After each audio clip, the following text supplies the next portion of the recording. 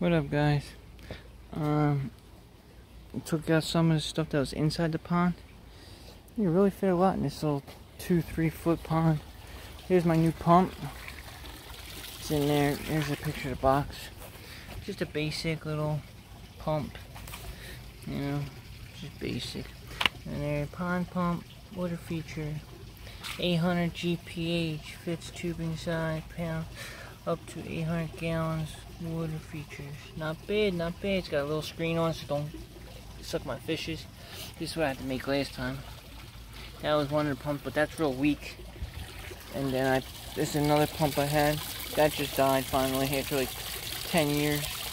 That was a good pump. I don't know where I got it. I think a swimming pool. And then I had this one. It's like a box.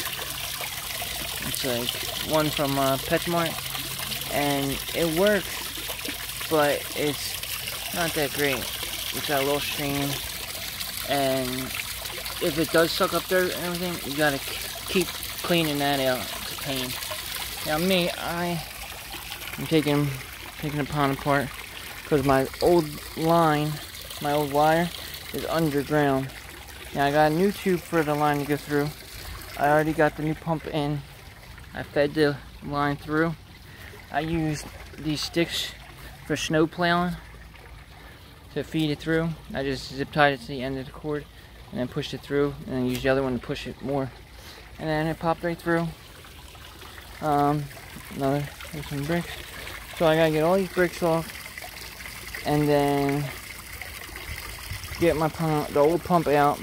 I could just cut it, but then there's a, a wire that nobody knows where the, the plug goes to, you know what I mean?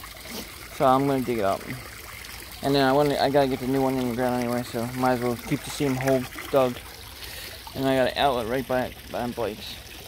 So that's the best solution. You put in a PCV pipe. I I like to do this.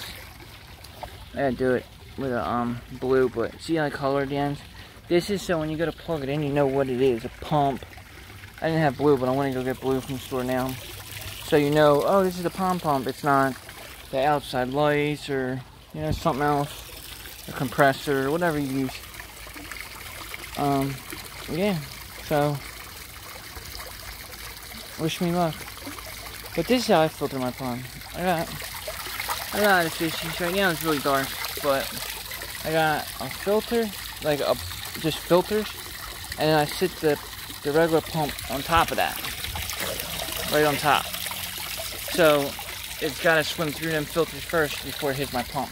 Then, once it gets through the pump, it goes up here. This is just because I want to put them back on the under rocks.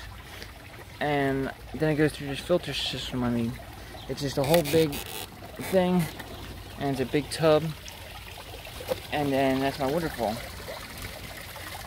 So I just got that packed with all filters.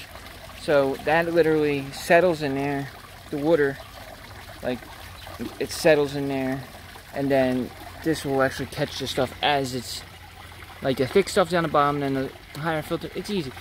Anyway, it saves a lot. That's great because I don't have to mess with the pump or anything. I just take them filters out, squirt them down on the hose, put them back in. You know, takes me about an hour, maybe two. And it's really good for your flowers. Really good. So if you got figs and stuff or fruits, you know, put the pond, clean the pond filters over your over your compost pile or over your um, what's it called? Over your garden. The fish oils and the fish poop is really good for the um, soil. Yep. So, alright, I just want to show you my little mission I had going on. Thanks for watching, and I'll try to take another video when I'm done. Thanks, guys. 来